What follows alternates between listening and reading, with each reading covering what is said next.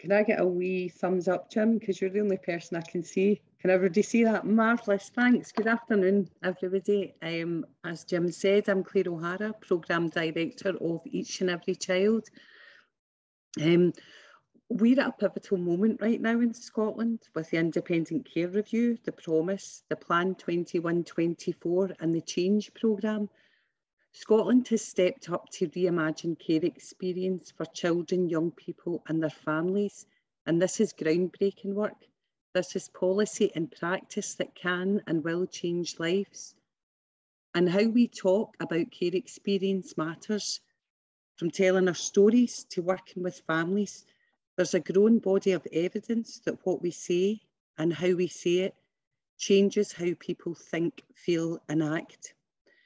I'm going to share some, some of the co-design work that we're currently doing with people who have lived experience of care. But first, I'm just going to give you a bit of background to the initiative to set it in a context. So in 2017, the Frameworks Institute was funded by Robertson Trust, CELCIS and Life Changes Trust, and it was tasked with carrying out extensive research into public attitudes towards young people within the care system. And from this, we produced two reports, Slipping Through the Cracks and Seeing and Shifting the Roots of Opinion. And this research included people from the workforce, people with lived experience of care, policymakers and in turn the general public. And what this research has enabled us to do was better understand what were the challenges for us that wish to campaign and advocate for change towards supporting children, young people and their families within the care system. So the three key communication challenges that were highlighted by the research was first and foremost Children and young people with experience of the care system are seen as forever damaged as a result of factors such as trauma and neglect, and that damage done can't be undone. The second challenge that we have is that the care system is viewed as dysfunctional and unable to provide the loving, nurturing care that children and young people need to thrive. And finally, and probably the most challenging, is that the public consider children and young people generally end up in the care system due to bad, poor parenting and bad choices. And by bad choices, I mean when we have babies, toddlers, very young children come into the care system, the public have a lot of understanding and support that we need to love and nurture our children However, as children get that bit older and from as young as the age of 10, that attitude flips to an attitude of blame. These young people are in care because of something that they've done. So phase two of the programme focused on testing reframing strategies and these reframing strategies, how we can talk about care experience to counteract these key communication challenges within the public. And these frames were tested in 2019 and refined using three methods, on the street interviews, survey experiments, and peer discourse sessions. It's important to note that people with lived experience of care were included in all parts of the research from the very beginning right through to the trial and testing of the reframing strategies. And now we are in stage three, which is each and every child initiative. And we have three aims. First and foremost, we want to shift public attitudes towards children, young people and their families who are in and around the care system. We want to engage and inform professionals within the sector who work with children, young people and their families around their communication so that we can strengthen their practice and their impact. And then finally, and most importantly, support and equip people with lived experience of care to be at the heart of efforts to develop a more consistent and effective communication so that we can mobilise people within the, our communities and across the country to take action to improve the life chances of our children and young people. And it's vital for us that people with lived experience of care, of care are central to this movement to build the support for the progressive policies and to positively shift those public attitudes. So to do this, each and every child is working alongside people with lived experience of care. And we've got two particular roles. Firstly, we've got our management group, which is a strategic role. And in our management group, we have representatives from our funders, who I won't name, um, please don't tell on me. Um, we also have the Promise Scotland, and most importantly, we have two paid consultants with lived experience of care who sit at a strategic point within our organisation. Um, and they're not just bringing their lived experience of care, but they've also got professional experience as they're specialists in trauma responsive practice and also participation. So that's our strategic role.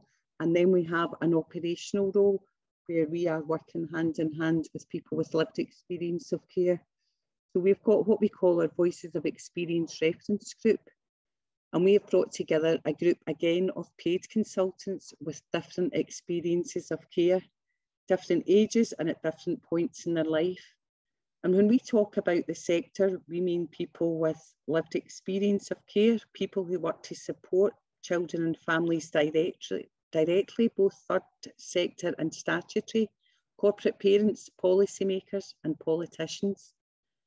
For me, co-design is a social movement I believe, like many others across the country, if we value both professional and lived experience equally, we can create compassionate systems that support every member of our society to feel included and to flourish. So I'm going to share some of the journey that we've been on in the pre-planning stages of setting up our Voices of Experience reference group. We had to look at design tools. And when we are talking about co-design, we need to ensure that it's social design that's sensitive to power and trauma. So first and foremost, we looked at a trauma responsive approach. Myself and Michael, who's the other member of my team, we are a very small team. We initially went through the NEST training in trauma responsive practice. This is great, it's free, it's online, NHS Scotland. I would recommend it to anyone. And from this, we created a trauma responsive approach document that we used the learning and understanding that we gained from the training. We also worked with the care consultants and our management group to finesse the approach to ensure that all the work that we were doing was grounded in the six principles of trauma responsive practice choice, collaboration, empowerment, trust, safety and culture. Then we had to look at our power and privilege of the staff that were involved in the co-design group. In co-design, we're aiming to go beyond discussing and making recommendations about what we could and should happen.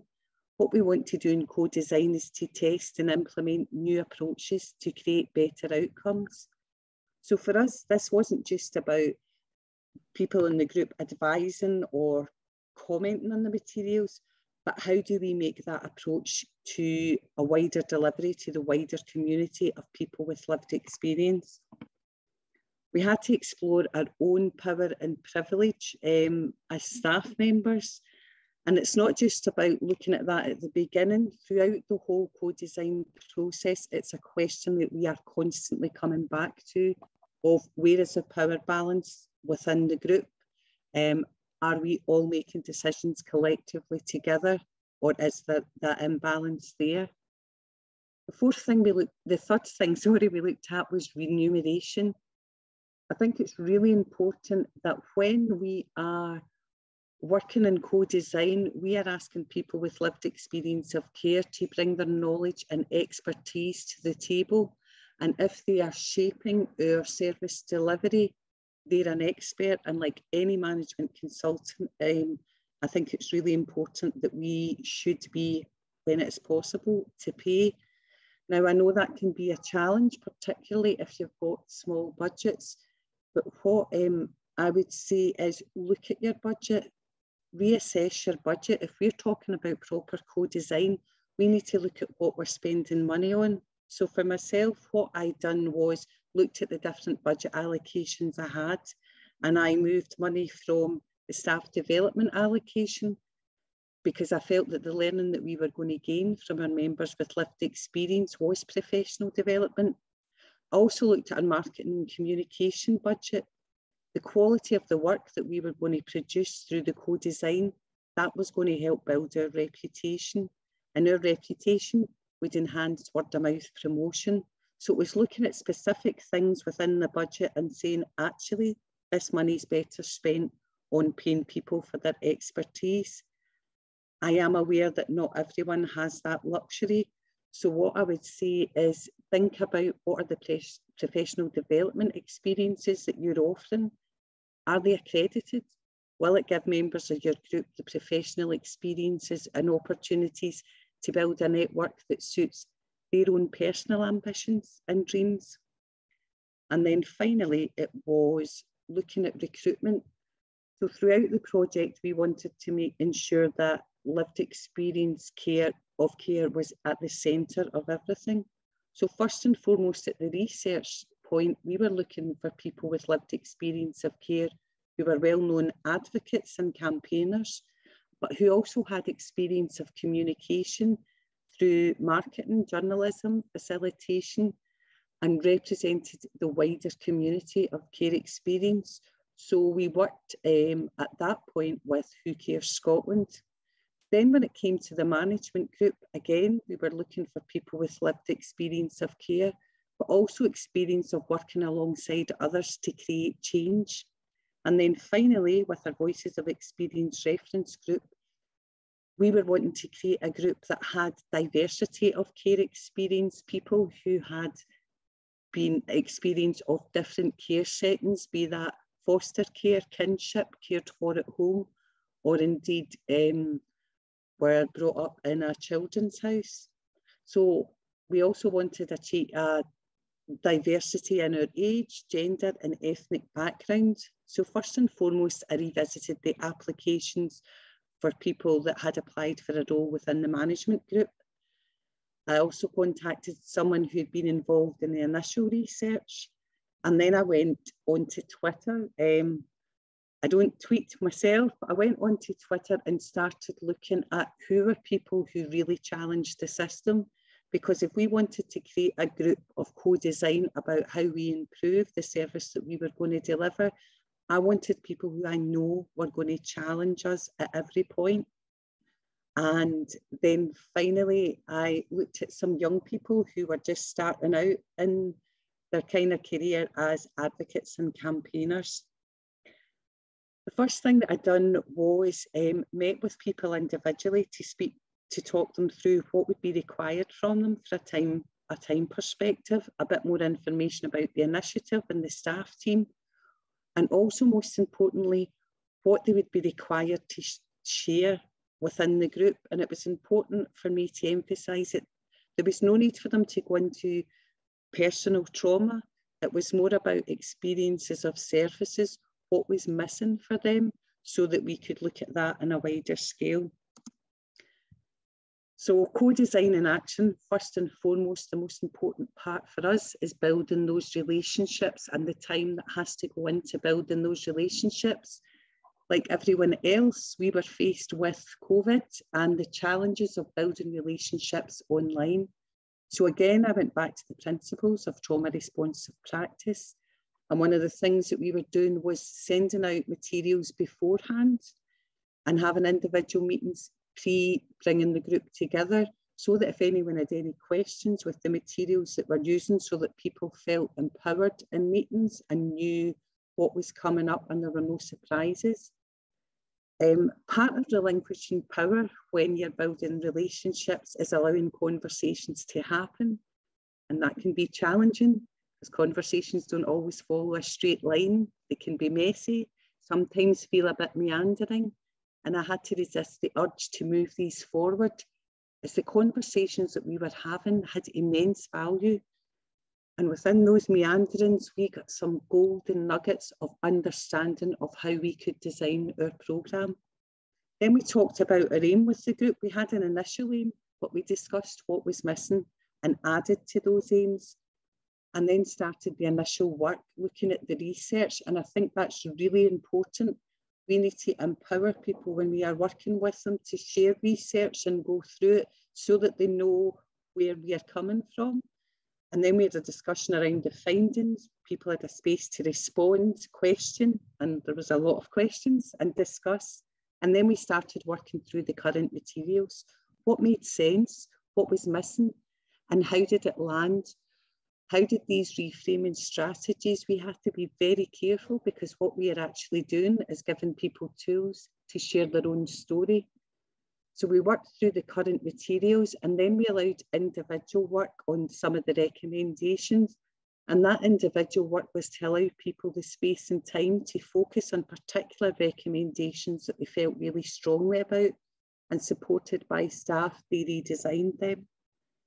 Then we presented and fed back to the wider group. And again, it's about creating that safe space, looking at your power dynamic so that ideas can be shared with that mutual understanding and support. And then we looked at implementation. Who's missing from the conversations about care experience in the care system and how do we reach them? And the fundamental question, why do we want to reach those people who are not engaging in those conversations? Then we talked about the co-facilitation of the sessions that we are now going to roll out across the country and asked if people within the group would be willing to become co-facilitators and do a bit of additional training. And then for the members of the group who are unable to take part in the co-facilitation of sessions, We've got an ongoing engagement with them throughout the duration of our initiative so that they can advise and inform from an operational perspective at all points. So what did we learn? it's messy and at times we have to be learn we have to learn to be comfortable in that space and we have to learn to move away from structure sometimes always being aware of the power balance throughout the process a flexibility in the timescales and approaches to participation, you can come up with a framework for participation and engagement. And that changes because people's lives change. So there had to be a flexibility in those timescales. Another big learning was talking to others who were also doing co-design work. There are so many people across Scotland that are brilliant examples. So it was about sharing practice. Co-design is constantly evolving in this country. And the biggest lesson I learned from the members of the group was it's all right for me to challenge if I don't agree. Sometimes um, I'm very sensitive to challenging people, especially if they've got lived experience and I don't. But what the group taught me was if you create the right environment, it's all right to challenge.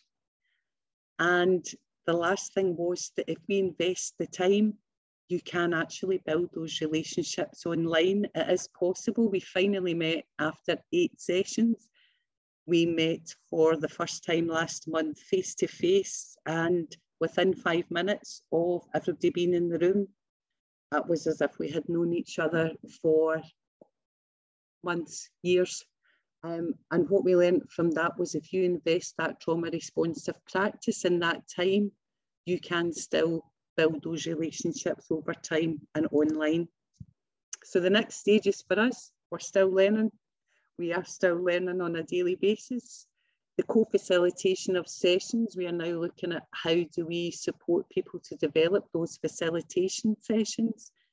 And also this is not a short-term working group. And initially it was, but the richness that this group have brought to not just how we work with people with lived experience of care, but how we work with professionals and policymakers has been so valuable that we've realised that this group has to continue and the continuous sharing of practice. And I cannot emphasise this enough. Um, we are not the only people at each and every child. Some of the most inspiring organisations that have informed my practice have been Resilience Learning Partnership, Corra Foundation, and also Life Changes Trust and the model that they've used for the Children's Champions Boards. I am going to leave you with two quotes everybody here knows co-design is about designing with, not for people, but a wee provocation. What if the goal of our social care systems was to learn continuously from and with the people we support? How would that change things? What kind of society can we create through proper co-design? I have to say these provocations aren't mine. They are from Sally Ann McKercher, Beyond Sticky Notes, a book I would highly recommend for anyone who is about to attempt a co-design project. And lastly, these are our contact details. I have shared my presentation with Paul so he can send that out if anybody wants more information, wants to share learning with us or ask any questions. Thanks very much. Thanks, Claire. Um, absolutely brilliant. And so many things in there, I'm sure, for people to get their teeth into. I'm conscious of time where we're just running a few minutes behind.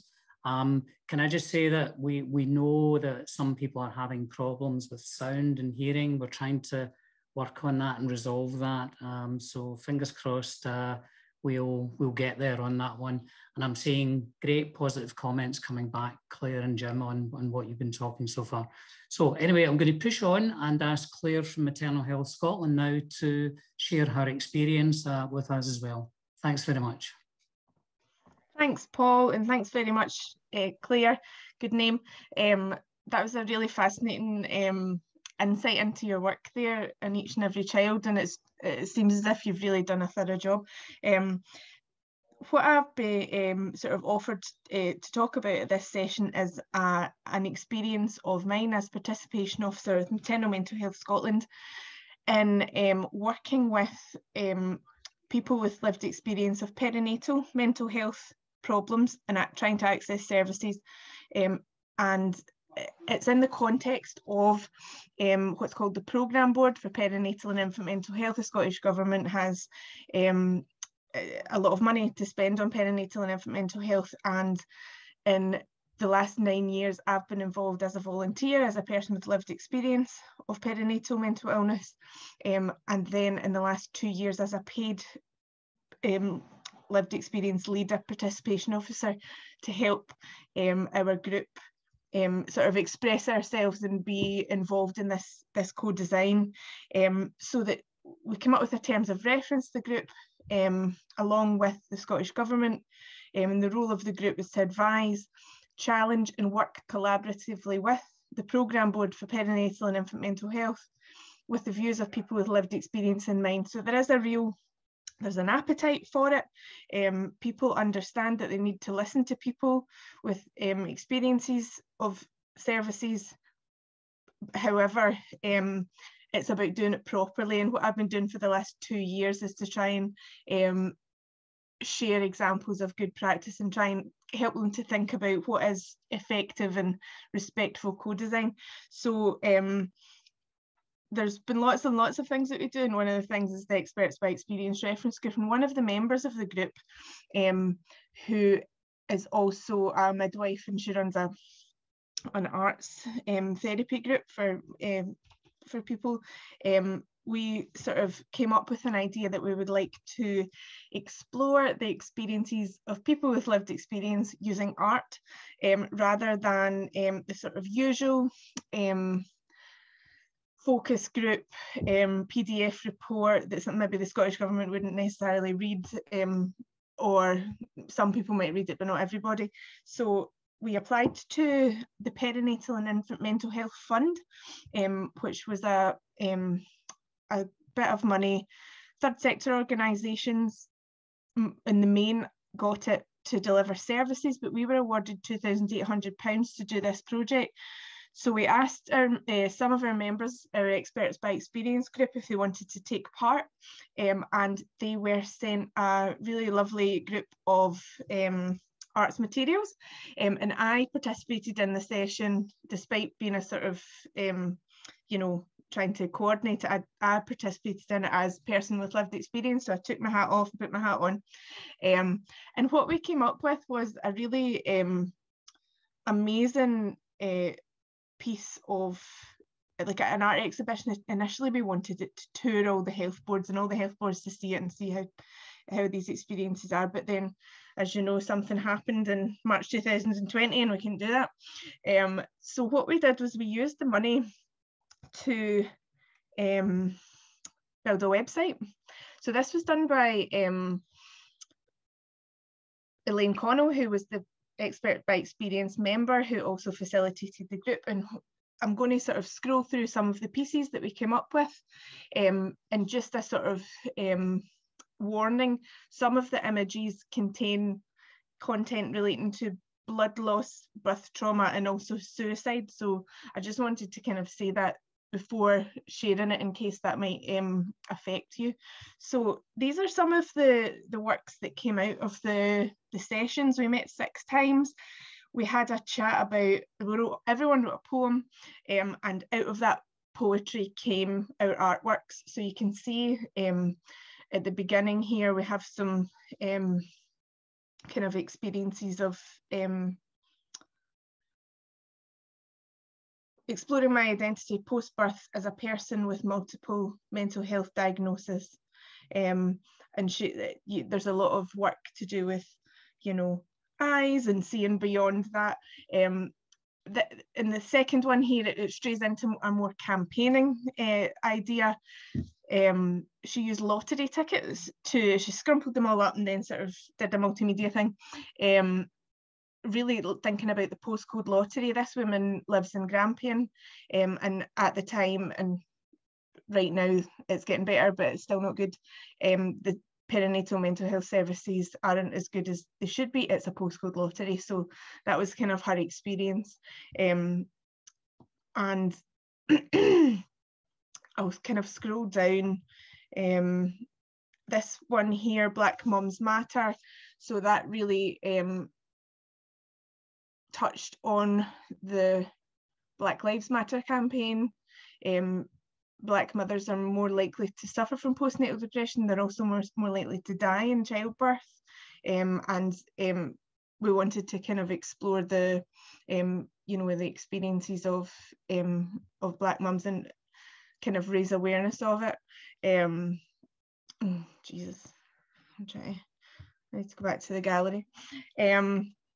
So it's kind of worth a, a real explore. And the idea um, is that we wanted to tug at the heartstrings of the people who are trying, who are um, delivering services, who are funding services, and really have a think about what happens when you don't properly fund perinatal mental health services. People um, are missed, people experience distress, um, people have really good experiences as well. This is um, an embroidered piece about um, being uh, experiencing care in the mother and baby unit in Glasgow, um, and it's a this is mine. It's a map of um, Elder Park because it was away in the old Southern General, um, and that's sort of a, a sewed tea towel. So you can see that the the care that I got from the nurses in there helped me through my journey. And that's what we wanted to kind of say. We wanted to talk about good things and bad things.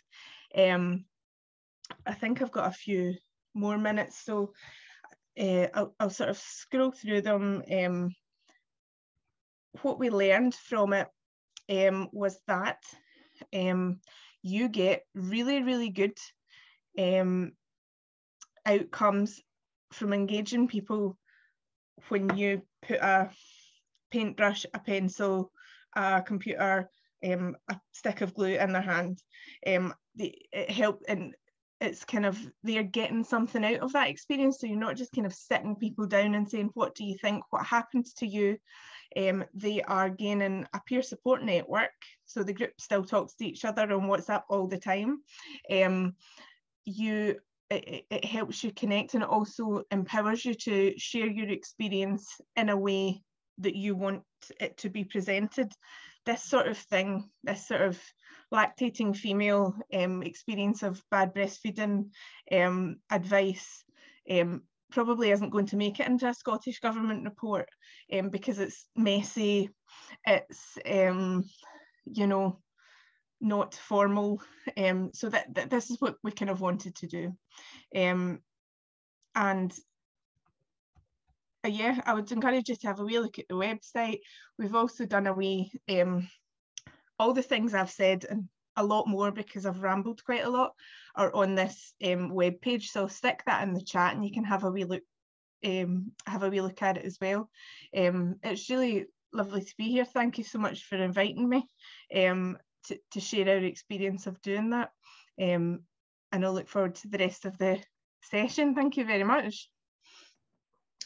Um, and have, I got, have you got me up in slideshow view? Yes, you should do. Excellent.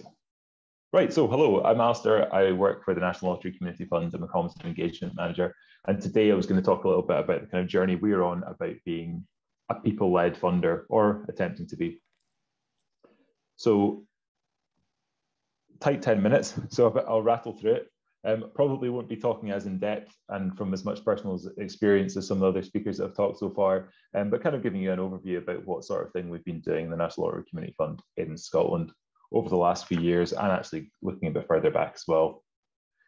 I will start off by looking at our strategic framework, um, probably a phrase that brings dread into the hearts of anyone watching a PowerPoint presentation. I promise I will not mention our strategic framework again, but I'm just going to chuck this in here because it kind of sets out where we are as an organization. And for some time, we've been working towards this goal of this, this vision of when people are in the lead, communities thrive. So basically, following up with the tagline there, people understand what's needed in their communities better than anyone. And I guess we've been trying to put that into practice over the last few years. And if you're observing, you'll notice that it's stuck on a banner behind my head as well. So it's kind of all over our branding and all that sort of thing. Um, this was kind of a distillation of things that we already thought were good and that people had told us they thought was good. Um, and it's kind of as a, as a guide for us to do things in the future. And so today I want to talk to you a little bit about how we've gone about funding work that is kind of led by people, it's people led, and also to some extent how we've gone about trying to make ourselves more people led, which is absolutely a work in progress. So starting off with funding work that's people led, and this is something that kind of cuts across all levels of our funding. We fund, we make grants um, from 300 quid to million pounds plus, and and this is something that's kind of percolated through everything that we fund.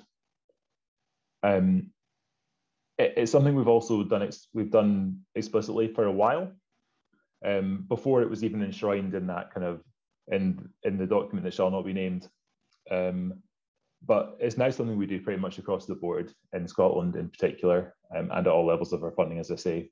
So what, what do we mean by people-led? Basically, we're talking about involving the people who benefit in the design, development, and delivery of projects. That's what we want to see people that are applying to us for funding doing. And by the people who will benefit, I guess we're talking about people who will be the direct, directly taking part in projects, their networks, maybe their family, friends, carers, and just the wider community that they work within. So we've actually we've had some funds that I suppose are more directly built on this idea of being people led. Our Our Place Fund was is a great example where we set up sort of one to two million pound pots of funding address addressing um, a plan that was kind of put together and co-produced with the local community and and basically they generated project ideas that were then that were then put to us for funding. Um, and that's something that's been running for many years now. We're in, in, we're kind of near the end of our second second round of it. So i think that's seven eight years at least that's been running. Um, our young start fund um, is specifically built up around young people being the, in the lead, and we generally fund projects that are heavily led and influenced by by young people themselves. And then we've got a, a number of funds that, like our community-led fund, our community assets fund, which um, closed about a year and a half ago, and the Scottish Land Fund that we run for the government, all of which are built around ownership um, by local community organisations and being led by the local community um, in terms of building a, a building, buying some land, running activities, whatever the, that thing may be, it's around local geographic communities and being and it's fundamental to getting money from any of those funds that you're led by the local people that you work with. And as I say, the amounts of funding there vary from kind of 10,000 up to a million. So one wee example um, that we funded through a couple of those funds, um, the hub in Fauldhouse, uh, which is we helped the local community buy it and, and refurb it. Um, and we've also helped them more recently run activities kind of by and for local people. And they're fantastic at, at working in dialogue with the local community. They mostly are community members themselves that run it. And they have regular chats with locals. They, they run a newsletter that gets posted through every every door in the whole village. Um, they've done lots of different consultation work and stuff like that. And that's the sort of thing we're talking about and have been trying to impress upon people to get our funding. As I say, applies to our other, other funds as well. Um, our smallest and most popular grant, National Lottery Awards for All. Um, a few years back, we introduced the need for everybody who applies to show how they've involved their community because there were times when, frankly, we'd get applications and say, well, that sounds great, but have you spoken to anyone else about getting involved? And they go, oh, no, which is a little bit shocking to us. Um, and similarly to, to our main sort of thematic funds, like our Improving Lives Fund, we ask people to show that they um, have considered the, their, their users and have involved their users, although probably not to the same extent as some of those, those previous funds. A quick blast through some of the things we've learned from this approach. Um, most people generally like it um, and agree with it. The overall message from the sector has been positive. Um, many groups work this way already, so they just like to see that see it being reflected in, in what funders are looking for. So that's that's been a real positive. It's definitely open to interpretation. It's quite a broad thing, what makes something people-led and what makes something not people-led, and both within our, ourselves in terms of between different funding officers. And I know we've got at least one of our funding officers here today who might be able to attest to that. Um, but also with some groups consider themselves in, in incredibly people-led, but then um, when we maybe have taught them a bit more compared to other people we fund, they, they perhaps aren't. Um, so there's a bit of difference of understanding about what that means. Um, so the, the good thing about that though is that we don't think this can be one size fits all. So being people led in one arena can be quite different to in another. Um, for example, as a local community group, it may be comparatively straightforward to identify who all the people um, are in your community. And that's kind of what the next point is. Um, if you're in a village, you know who that community is. Everybody in the village potentially is part of your community, um, and you can potentially engage with them. Slightly more difficult with communities of interest, and also particularly if they have very, very challenging um, needs. Um, for example, if you if you're working with people with dementia, you, you're maybe going to have to approach it quite differently um, in terms of how you engage with them um, than you would with with just a general sample of the population. But what we've seen, which is fantastic, is that some groups have found incredible ways of doing this. Um, and we've definitely learned a lot from that. Um, and then finally, it's, and something that's been touched upon earlier about the power dynamics, also kind of a challenge to our culture as a funder. Um, and sometimes a challenge to our expertise because if we leave it up to the, people to decide what they, they want to do, then um, that might not be the same thing that we think they should do. Um, and it's interesting to hear from um, I, I, think it was Claire who was saying earlier about once you've got a good relationship, then that challenge is welcomed. Um, and and that's definitely something we've we found too. Um, but when you do, maybe don't have that relationship, it's a bit more tense. Um, and finally, yeah, it's changed what we fund. Um, we've probably funded fewer big national organisations and more locally run and led organisations because we've had that criteria. And we've also definitely seen that we've pushed some organizations to work a bit differently, including some quite large organizations that we were kind of surprised maybe didn't involve their users in the same way. And they fed back and been really positive about that. Um, so more of those groups, like I say, harnessing lived experience. Um, and we've also heard a lot more fantastic stories of, of users being on a journey through to being involved into running organizations and that sort of thing. And again, that's really that's really incredible to hear and some really empowering stuff going on. Um, I've only got a couple minutes left, so I'll, I'll blast through something that's a bit more um, in a bit more of a work in progress, which is about making ourselves more people led um, and trying to shift trying to shift the power away because essentially our money comes from national lottery players who are basically members of the public.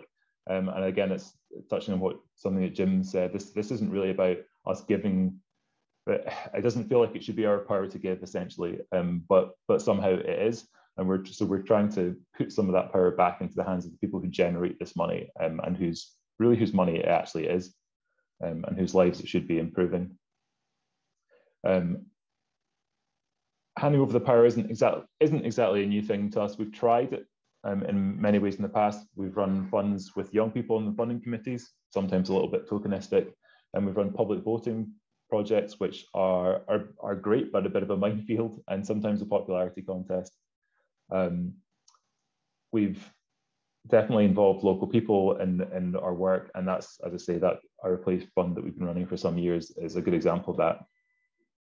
But there's a couple of things, my last sort of couple of slides for today, some new things that we're trying out, or newer things that we're trying at the moment.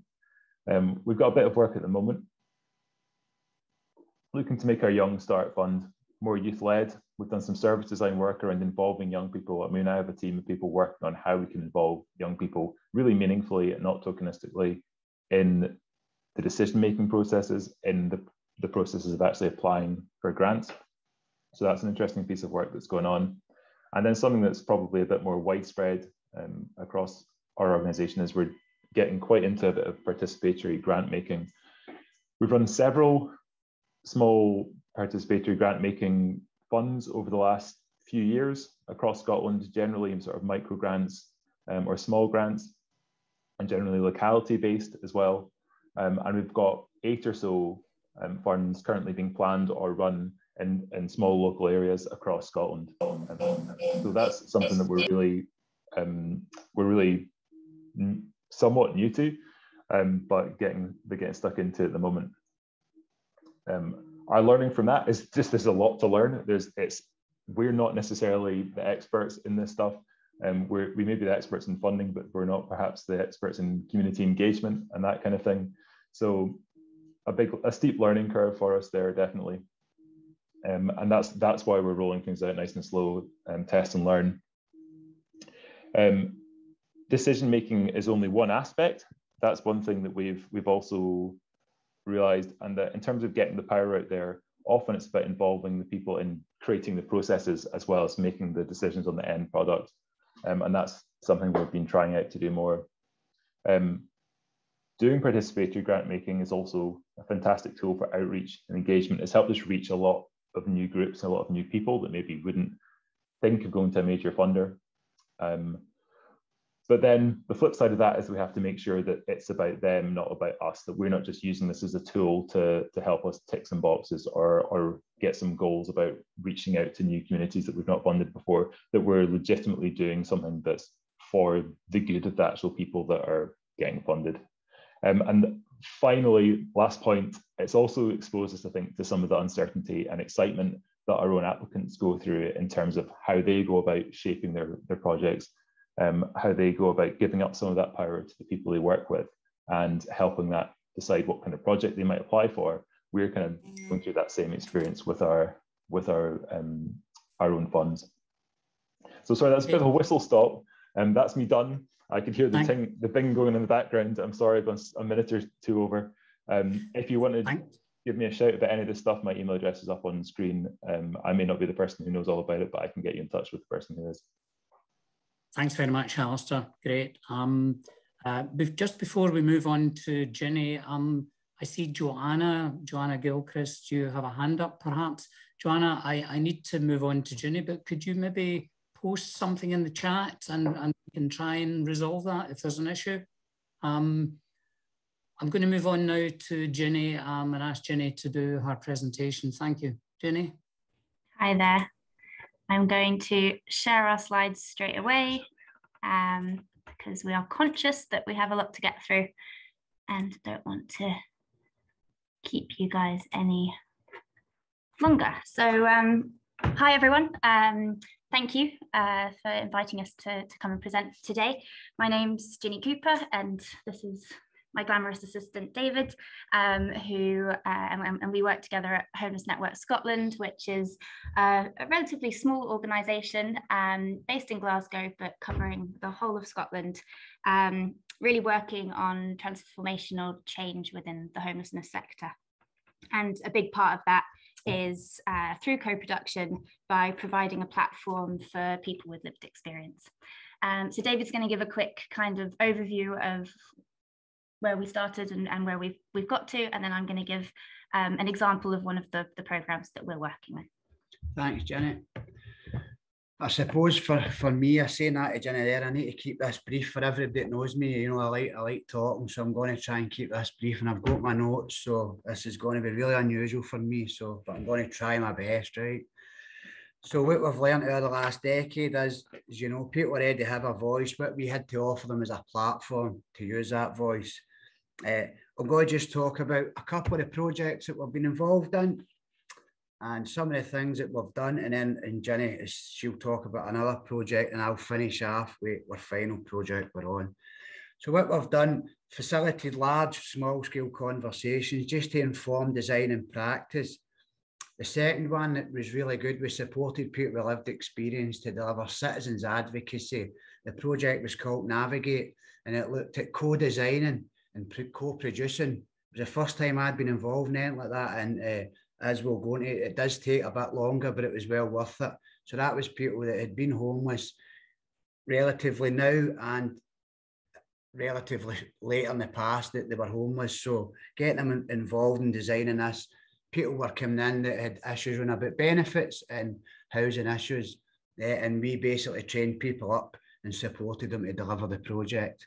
Uh, then the other one we've done is we've trained and supported people to be equal partners in Glasgow's local authority, and that's looking at the alliance. So we've got a, a group called the GIFT Glasgow Homelessness Involvement and Feedback Team. Get that right? Uh, and that has been equal partners, and that took a lot, a lot of work for Glasgow City Council to actually come to the table. And I suppose, as I've heard people talking about it all day, is the power. So actually, for them to actually come and bring people to the table, but and everybody had an equal vote. That was really important for us. And one of the other ones we've got all in for change, but I'm not going to talk about that because Jenny is. Uh, the final one down at the very bottom is facilitating a place-based participation. SCDC are involved in it with us as well. It's called Staying In, and I'll get into that at the end. That's, that's basically just getting the whole community together to actually decide how, how funding should be used. It's funded for the big lottery. So as I say, I've been doing this for 10 years. We've learnt so much in that time. Uh, and I'm going to just go through some of the learning for us.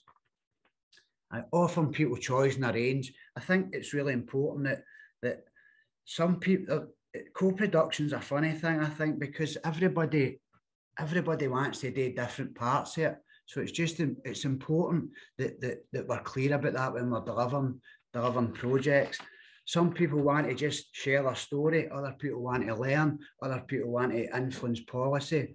And I think it's just important that, that we we give everybody the opportunity in a meaningful way. So it's no no anything that we've not been hearing uh, so so far.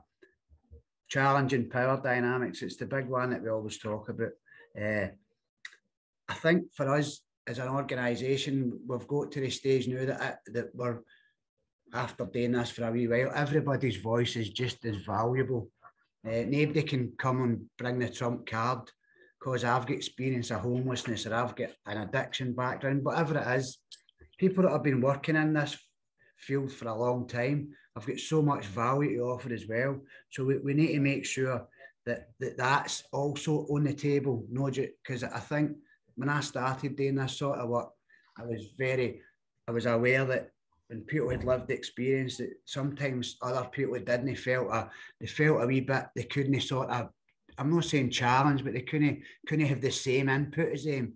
Uh, so it was really important for us that we, we, we scrapped all that and actually get everybody to start off for, for the one, I suppose, the one spot. And a shared understanding of moving forward. So I think, again, I've just said it there, it's about just laying the groundwork so everybody knows where they're starting for.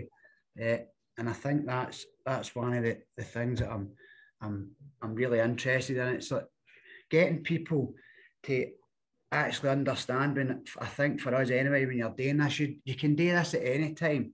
Even if you've no co-produced something for the very beginning, it doesn't mean you can't involve people through the project or whatever it is you're doing. So I think that's really important that, that if you're not doing it, it doesn't mean that you can't do it. You can start doing it halfway through the project.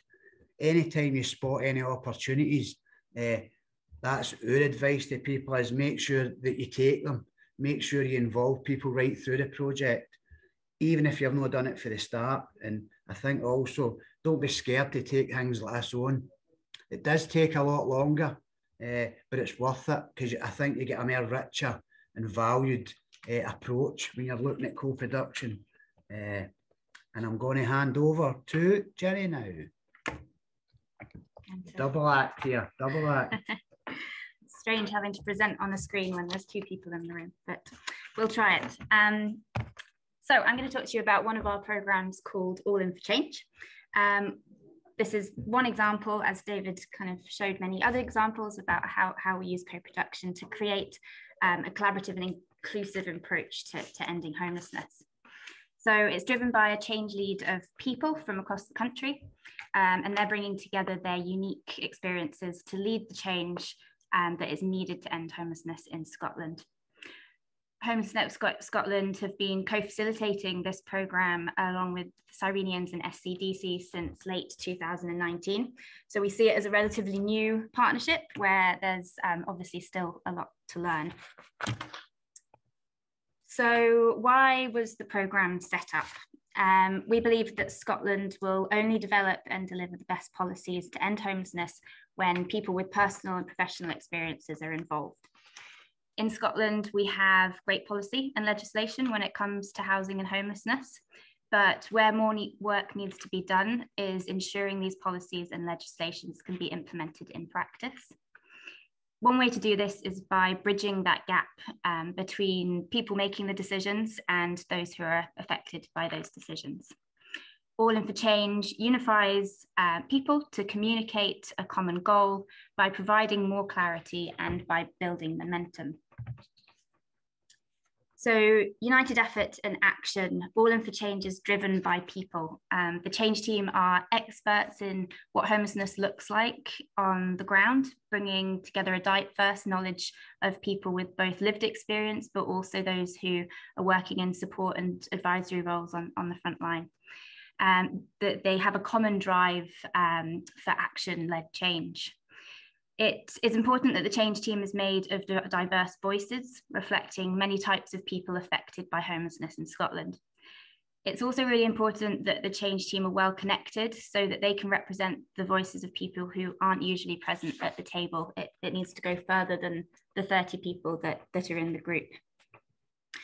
So the high level ending homelessness together action plan recommended 49 actions uh, needed to end homelessness in Scotland.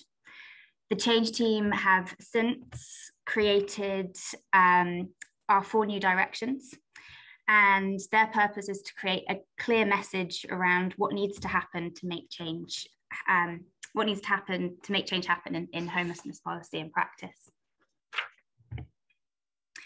To ensure that the change team can help encourage the changes needed on the ground, they ask and then act on four things, and these can be seen here. What do I need to know about the four new directions? Who will I tell about the four new directions? What will I do differently to help embed the new directions in practice? And what will help me to do this? So the change team meet on a monthly basis to prioritize key messages so that these can be fed back to the people that need to hear them. Here you'll see some examples of priorities that were raised during the pandemic. We've been meeting online since the lockdown, um, which has created a, a, few challenges, as it has, I'm sure, for many of you. Um, we've had a few of our frontline change leads drop out because um, of increased pressures uh, at work. Some of the group were not confident using digital platforms and emailing to communicate, which meant that we needed to give them more support to make sure that their voices were heard. Um, we had planned to take the change team on a nationwide in-person roadshow um, so that we could reach as many people as possible and talk to them about the four new directions. And this, of course, has been postponed. So despite these things, um, we are pleased that we've managed to continue meeting um, during lockdown. And we've provided digital devices to those people who needed them and modified our meetings, and we continue to modify our meetings um, to, to meet online. The change team are gaining attraction from key people working to end homelessness within Scotland and the public and voluntary sector. Um, off, our members often get asked to join focus groups and are represented on various high-level strategy groups. Members have also participated in conferences and hosted webinars and been asked to consult on new policies such as the homelessness pre prevention duty. One of our change leads is now working as policy officer on secondment at Scottish Government. One of the biggest challenges that we've had, and I appreciate that we're now at 10 minutes, so uh, this is the, the last comment I'll make, um, to, to kind of end on a challenge, but I think a positive challenge, is um, people's misunderstanding, I guess, that the, the change team is a group of people who only bring experience from being homeless themselves. And I think it's really important to highlight the the combin it's, it's that it's the combin combined experiences of people with both lived experience and frontline experience that makes this group different and a true example of co-production. Um, every every individual's voice matters, and the kind of group's collective voice is is really powerful I said it was the last thing and it's not. Um, so just to say that kind of the, the way that we communicate um, a lot of the things that are discussed um, in our meetings is by creating um, monthly briefings and reports. And this is really with an emphasis of creating a clear message, not making it like a bogged down report that we see so often when, when we're trying to change things within policy, so that it's accessible for everyone. Taking the temperature was the latest report we, we created and we can share a link for that um, after this presentation. David, I don't know whether we've got time to talk about staying in. can you do it in two yes, seconds? I can do it. So if staying in. You can do it in two, David. Please do. It's a national lottery funded project, so I'm, I'm, I'm glad we're speaking about it because Alistair was just on before us. So SCDC are evaluating it and we're working with Unity. We're in two areas in Glasgow. We've got a community chest for each area. We're we're working with trailblazers in each community, building up a panel of local stakeholders, and for them to decide where the money should be getting spent, what projects should be getting funded.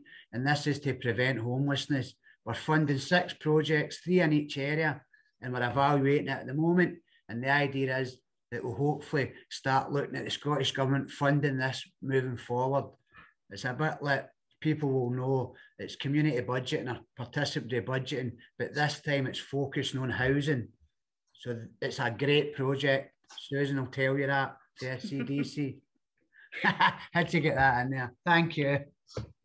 Thanks, everyone. Okay. Thank, thank you very much, both of you. Uh, we've, we've had a few questions that have come up through the Mentimeter. Thank you very much for using that. We do have a couple about training um, what kind of training are people doing and what, do the, what does the training focus on? I'm going to suggest that perhaps people might post um, some information on that in the chat um, and just allow us to focus on some other questions. Um, either if you can do that now in the chat or post the event, if you can share what, what training you're doing, what's, what, what you're focusing on there. And I think this is training maybe of community members and building capacity and skills there. So please, if you could do that um, after the event, that'd be great. But let me come to then a question about skills on the staff side, as it were. There's a question here about what do people think are the skills needed to be doing this work and doing it well? And maybe I could pose that initially to David and Ginny. You, you certainly can, especially as you pre-warned us. Thank you very much. Um, again, very difficult doing this together, but I'll let David start and then I'll uh, fill in the gaps. I think one of the things I said, and people might jump in and go, that's not a skill. But for, for us, it is, it's actually been open, open to learning about new ways of working and also being able to put the right people in the right places. I think that's really, really keen, keen, key deliver new stuff if it's new stuff to, to people especially in communities or whatever it is if you've got great new great ideas and, and you put the wrong person in front of people it just falls and it's flat in its face so for me it's putting the right people in the right places mm. okay thanks think, oh Jenny? I add a little bit um i guess i, I echo what um, David said around, you know, working with the skills of, of the people you're you're co-producing with, understanding what their skills are, and really helping them to kind of excel with those things. And that's been really challenging during lockdown because we haven't been able to kind mm-hmm. of learn as, as much with people, and there have been restrictions with digital and and all of that. I think there's something to be said around um, partnership working and and understanding the combination of skills that different um, organizations bring. Um, and also, I think about understanding that this is not about you it's it's about the people that you're co-producing with and therefore knowing when to step back and allowing them to be leading the the kind of direction but that and that you're really just project managing and um, supporting and providing any kind of additional kind of padding that that might be needed to to make kind of those uh, uh, decisions and directions kind of be be made. Um, yeah that's that's all I've got Okay, great. Thank you very much. Just just quickly, Alistair or Jim, do you do you want to add anything from a funder perspective there?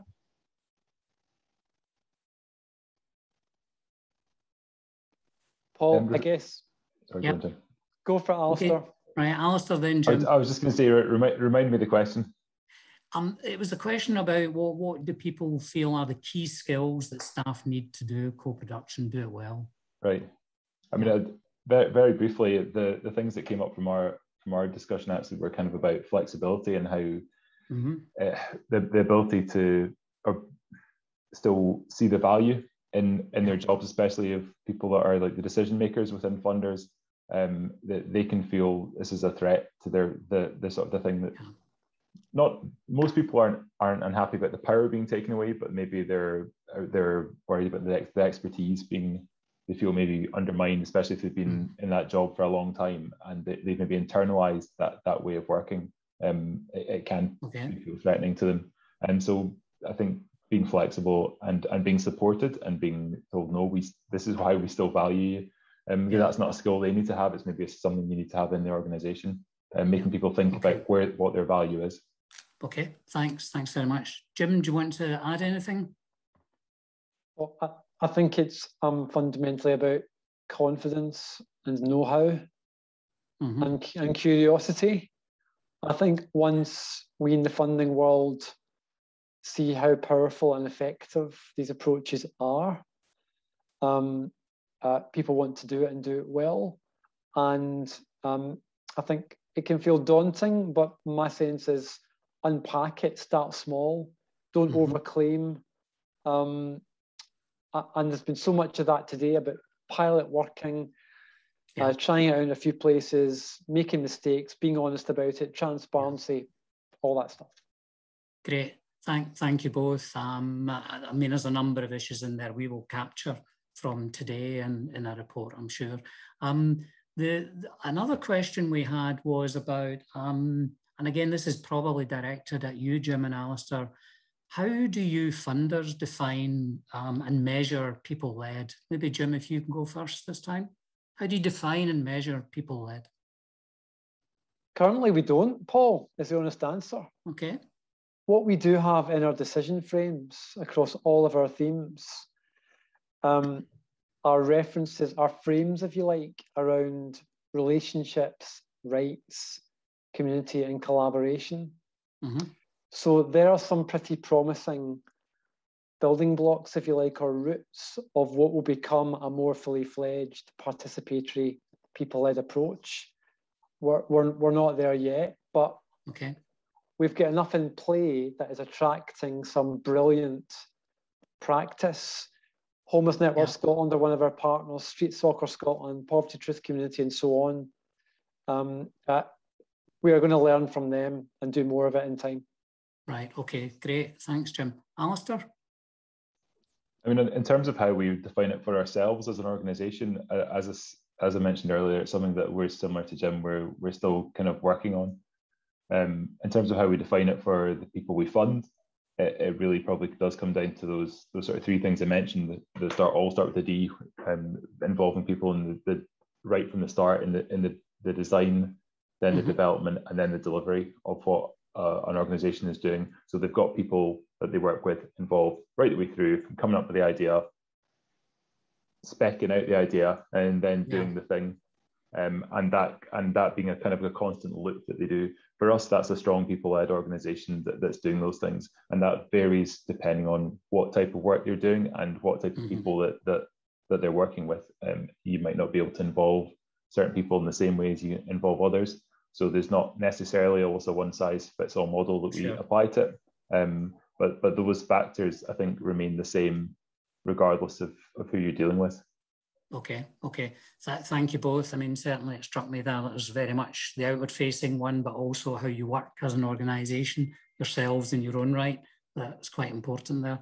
I'm going to switch tack a wee bit here because we had a couple of questions about resources um, and tools that people could access and are available.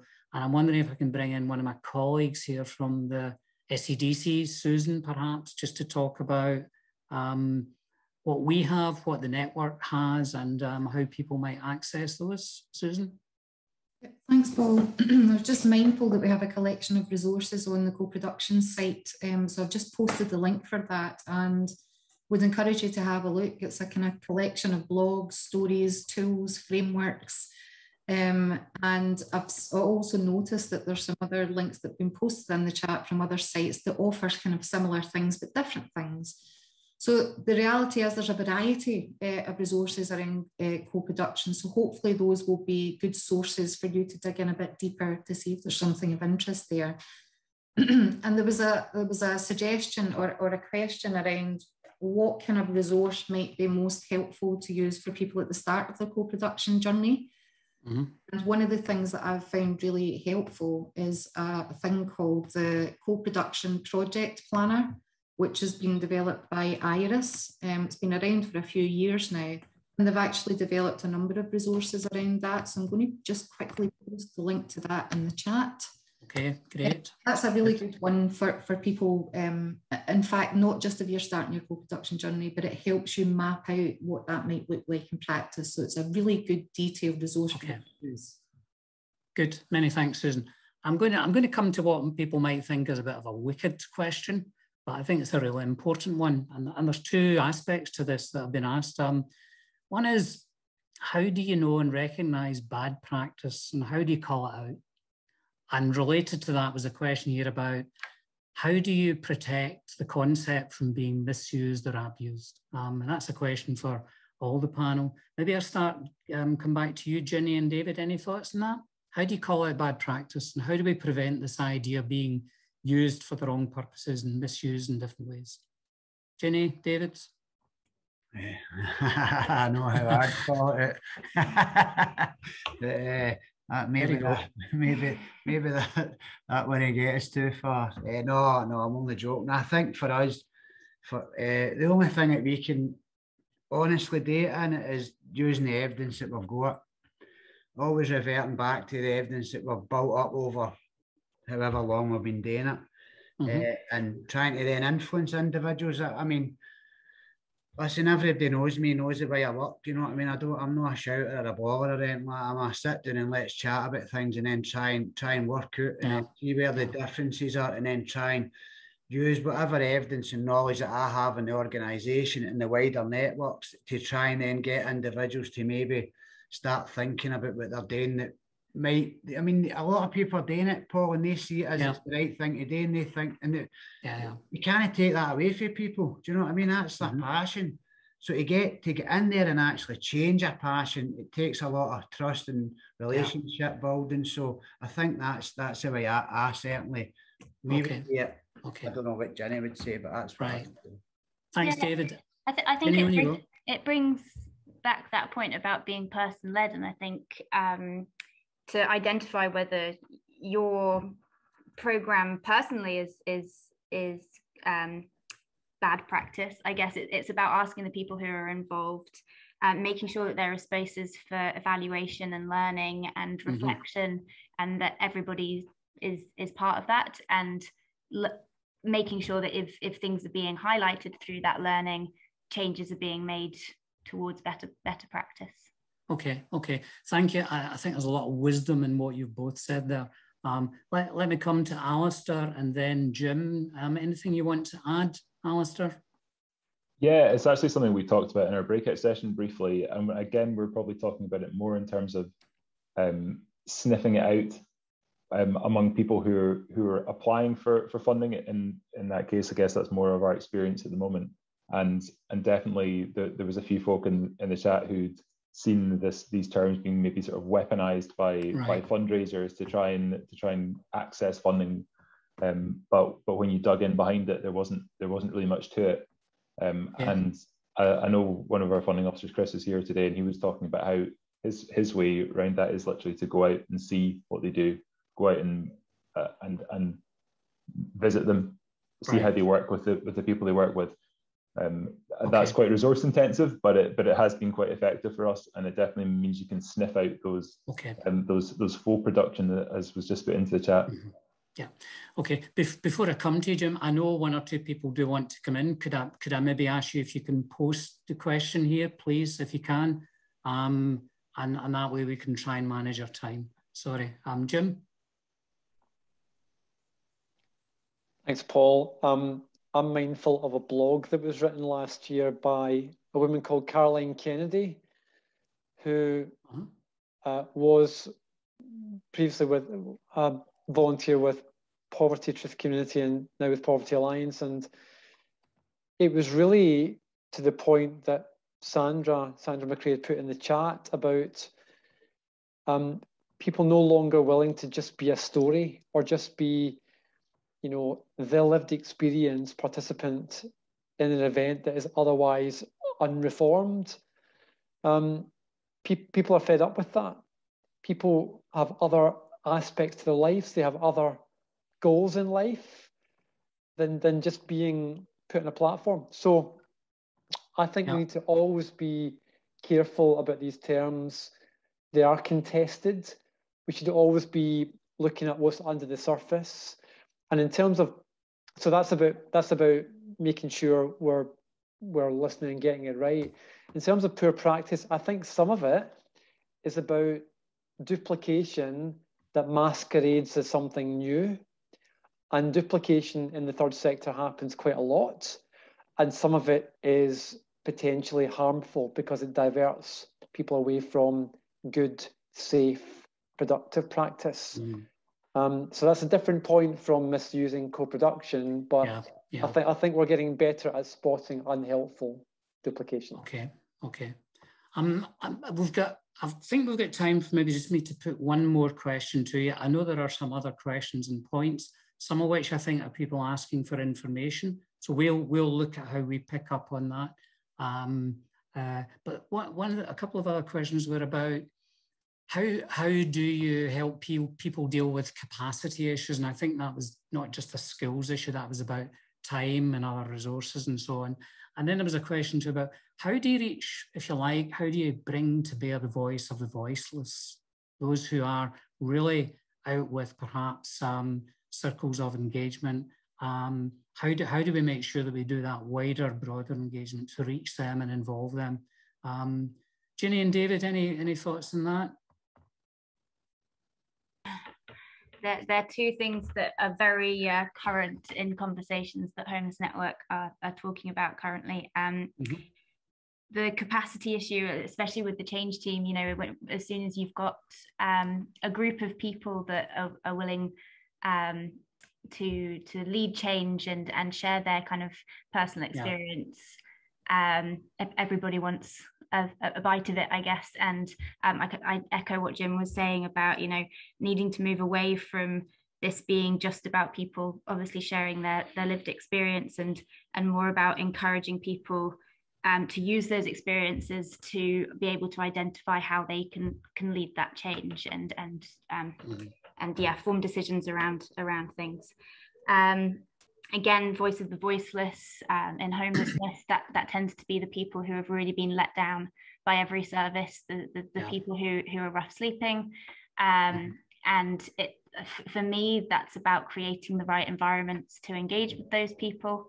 Um, it's not about expecting people to um, meet us at our level, but, but, but us um, going and meeting them at their level and, and doing whatever we can to, to make them feel as comfortable and able to, to join in the, the discussions. Okay. David, do you want to add anything? Uh, do you know what? I'm going to be brutally honest. Uh, I've been doing this for 10 years and I've been hearing this same things all the mm-hmm. time. Uh, it's no, it's, I just can't understand why that we've still got people that are voiceless. Do you know what I mean? I still can't get that. We know where they are or we know yeah. who they're supposed to be. You know, let's just go to where they are. I mean, it's no rocket science. We all know okay. who they are. We know where okay. people are. So I, I just, I, I'm with that. I'm a bit. I'm going to use a big word, Paul. Perplexed. Perplexed, right? Yeah, I thought you were going to use um, a different kind of word there. Th- thanks. Well, that's a big word for me, mate. Yeah.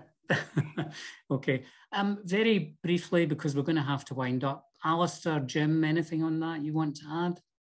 Alistair first. Um, I think David just actually took the words out of my mouth. The, the one thing that was coming coming into my head was you got to go to where people are, mm-hmm. not not expect mm-hmm. them to come to you because yeah. they're, they're not going to walk up to you in your ivory tower as a funder and and, and come up to your boardroom and sit and eat, have yeah. tea and biscuits with you and talk about it. Um, so so yeah, that's I think same for me basically. Okay, Jim.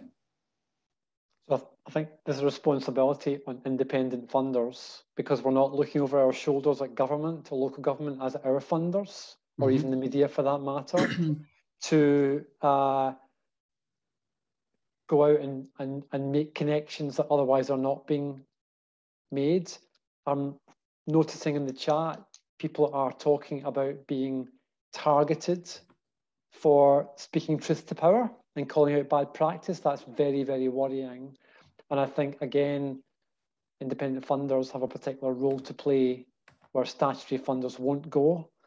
Yeah. And I guess um, on the capacity point, um, organizations don't have to do all the heavy lifting themselves. Seek, seek out partners who are doing this well in a way that is yeah. not tokenistic and and partner with them. Go go where there is capacity and help to grow it even even further. Okay, okay, thanks. Um, we could we could carry on, I'm sure, for a good while, yeah. But I'm very conscious that we do want to try and finish on time. Um, uh, we'll we'll capture a lot of this. We're recording this discussion. We'll we'll capture this and other points people have made in the chat as well. Um, I think what I take from what you've all been saying here in the final round of discussion is create the right space, create the right framework, have the right attitude, be prepared to deal with mess. Um, don't be afraid of being scared, as it were. Don't be afraid of being uncomfortable. Um, um, and, and be prepared to do things and, and make mistakes and learn and be open to learning as well. So um, some really, really crucial things in there. Um, can I can I just say that one of the th things we'd like you to do before you finish um, is maybe just feedback in the chat, if you can, everybody. One word just summing up um, what you feel now about having been involved in this event, this experience. Just give us one word back. Um, we'll give you a chance, I'm sure, after the event, if you want to feedback any other more detailed um, views on the event by way of evaluation. But at the moment, if you can just give us one word, um, and we'll, we'll capture that as well in our post-event report. Um, I, I just want to say that the feedback on chat has been really, really positive. That's superb. I realise that doing this kind of event by Zoom is quite limiting in a way. We don't have the same freedom and flexibility with being quite open about chat and so on. So my apologies to people that feel a bit frustrated who maybe wanted just to raise their hand, chuck in. Um, but we, are just trying to manage our time as best we can today in what's quite a challenging, quite a um, ambitious program. Uh, so I really just want to thank you all for participating. Thank you really very much. I want to particularly thank though Jim from the Robertson Trust, Alistair from the National Lottery, uh, Ginny and David from Homeless Network, and the two Claires, although they had to go early, it was a bit of a shame because I'm sure they'd have loved to have contributed as well. But really, thank you all very much. Um, and uh, please stay safe and well um, and keep the conversation going. The, the community, the network isn't just about this week. CoPro Week might figure quite highly just now, but it's an all through the year process of engaging with people, sharing lessons and learning. So we would encourage you if you want to continue the conversations in any way, you want to make offers of sharing your experience, please get in touch. If you're not signed up already to the network, please do that. Um, and we would love to hear from people how they want to continue this conversation because quite often what happens is we have a conversation, we stop, we have a break, and it doesn't become an iterative one, especially you hear people say, you know, these are issues I've heard for a long, long time. So please keep in touch, stay in touch. Thank you all very much for today and stay safe and well, everybody. Thank you. Goodbye.